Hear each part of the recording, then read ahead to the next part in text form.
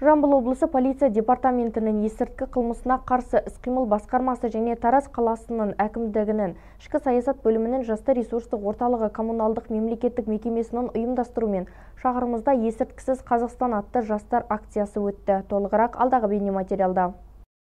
2022 жылғы 1 қыркүйекте мемлекет басшысы Қасым Жомарт Тоқаевтың Қазақстан халқына жолдауында салауатты ұлттың үлкен қаупі синтетикалық есірткіні тұтынудың арттыруына алып келуі туралы жасөспірімдер мен жастар арасында салауатты өмір салтын насихаттау және нашақорлықтың алдын алу нашақорлыққа қарсы күрес шараларын нығайту жастардың бойында патриоттық сезімді қалыптастыру. Бұл акцияға дәл қазіргі уақытта жүзге жуық қаланың жастары сонымен қатар алпыстан астам велошабандоздар бұл акцияға қатысуда дәл қазіргі уақытта қала көшелерінде есірткісіз қазақстан атты өздерінің ұрандарымен бірлесіп қаланың көшелерінен жүріп өтеді. Сонымен қатар дәл қазіргі уақыттағы біздің еліміздің болашағы жастар дейміз. Сол жастарға ең бірінші салауатты өмір салтын насихаттау бағытында да көптеген іс шаралар жоспарлануда.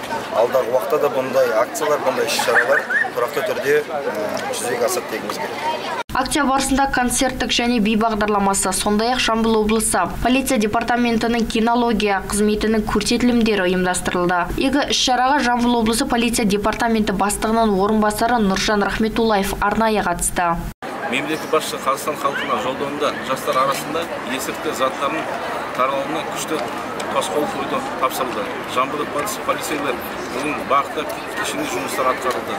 Полиция қызметкерлері жыл басынан бері төрт жүз жетпіс есірткі қылмысын анықтап заңсыз айналымнан екі жарым тонна жуық есірткі құралы тәркіленді. Жиырма сегіз гектар жердегі жүз жиырма бес тонна есірткі заттар жойылды.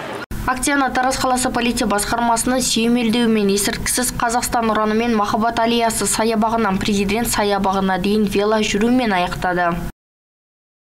Тахмина тәліпжан ислам құдиярбек ерболат жақаш жеті жеті ньюс